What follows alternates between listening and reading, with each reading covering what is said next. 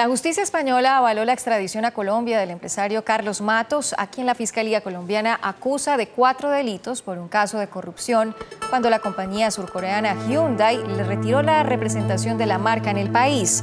Los jueces descartaron que existiera una motivación política en el pedido de extradición que alegaba Matos y dieron luz verde a su entrega, que no podrá ser efectiva hasta que sea avalada por el gobierno español, algo que podría tomar dos meses.